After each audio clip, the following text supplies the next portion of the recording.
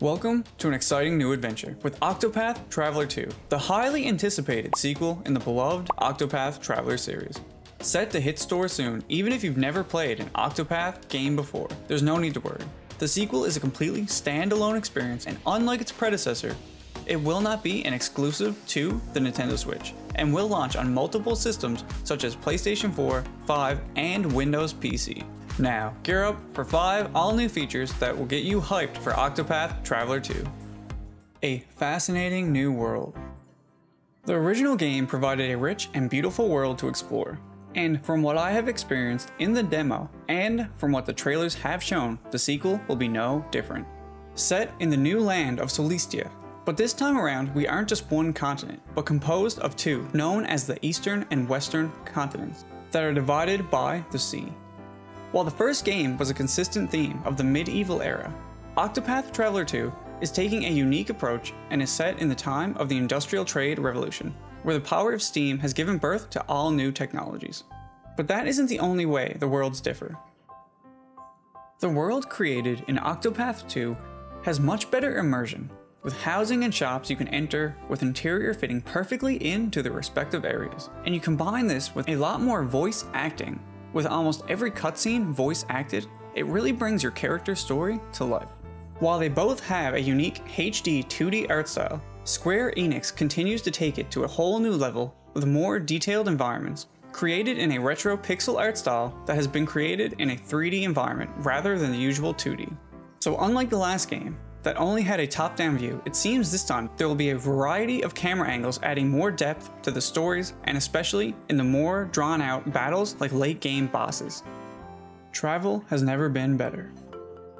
Traveling in the first Octopath consisted of traveling on foot or using fast travel points to return to a town inn. But with the world of Solistia split in two and separated by a large ocean, how can you travel across it? The answer? By ship, of course. But not just any old ship. You can obtain your own vessel to sail the open sea, with customization options such as a color scheme for your vessel. And while these customization options may be simplistic, custom options are always a great addition to add a little bit of personal touch to your playthrough.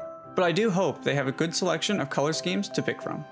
The oceans are not the only bodies of water you can traverse in Octopath Traveler 2, as you can cross small bodies of water like lakes and rivers by canoe, and is honestly quite a adorable feature that I'm sure many will enjoy.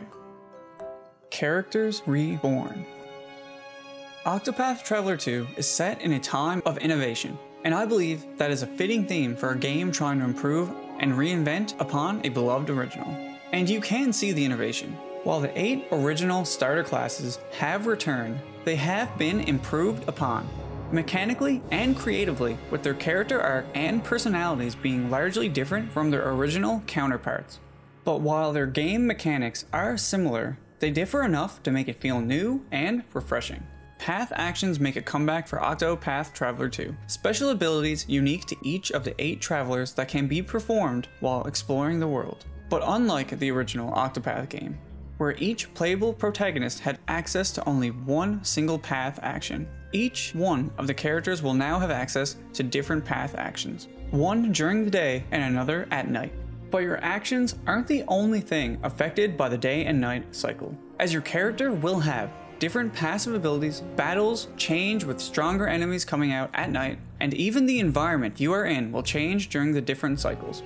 A nice touch they added is having the ability to switch between the day and night cycles freely to allow you to take advantage of the distinct features between the two without a time constraint.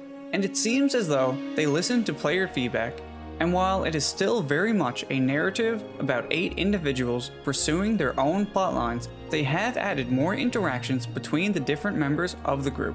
Additional character stories will unfold between the protagonists as their journey progresses, rather than just having them in your party and going about their respective paths. Job Security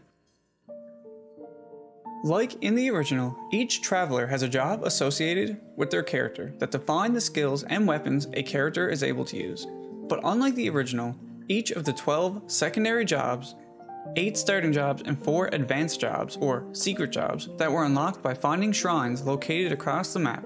The new game takes a different approach. With guilds located across the world you can visit and complete licensing quests to unlock new jobs for your team. Another change from the original job system is now multiple team members can have the same job, with the only obstacle you have to complete multiple licensing quests for the same job. Secret jobs are confirmed. If you look at the recently released Ochette and Castti trailer, you can see one of the characters as what seems to be a witch doctor job, meaning at the very least we're getting four new advanced jobs with there potentially being more than four this time around. More power than you know. Although the break and boost system has been brought in from the original game with some refinement, there is a brand new system, Latent Power. During battle, a gauge fills up gradually as you deal damage and break foes. Once full, each character can unleash a unique and powerful new ability, which is just another strategic layer added to the multi-layered combat system, and I love it.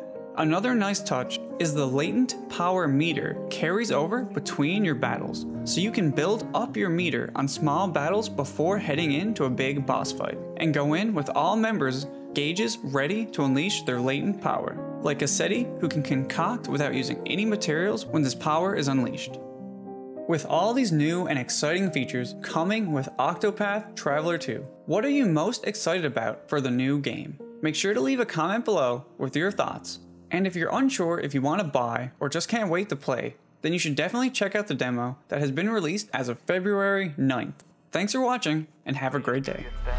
Wake up, today's gonna be a good day. Wake up, today's gonna be a good day.